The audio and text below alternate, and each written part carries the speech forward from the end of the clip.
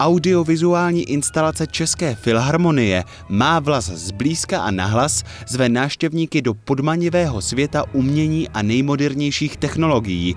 Jejímž průnikem je nevšední koláž, nabízející nové prožitky při vnímání ikonických děl české hudby. Tahle instalace vznikla proto, že jsme se chtěli připojit k oslavám výročí 100 let od založení Československa a chtěli jsme kromě koncertů oslovit nejenom milovníky klasické klasické hudby, ale i lidi, kteří tu klasickou hudbu tolik neposlouchají.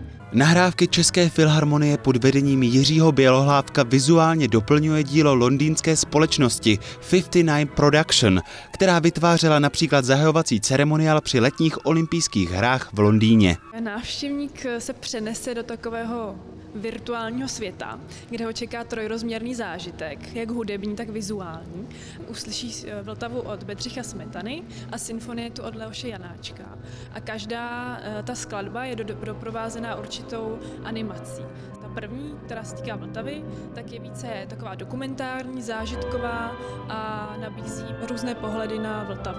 Janáčkova část je pak více abstraktní a odkazuje na dílo českého výtvarného umění, architektury a designu. Celá ta smyčka trvá 23 minut.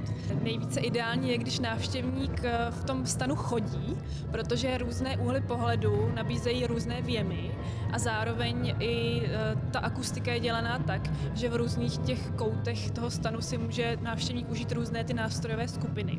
V Rudolfínu můžete audiovizuální instalaci Mávlas zblízka a nahlas navštívit až do 20. srpna, každý den mezi 10. hodinou raní a 9. večerní.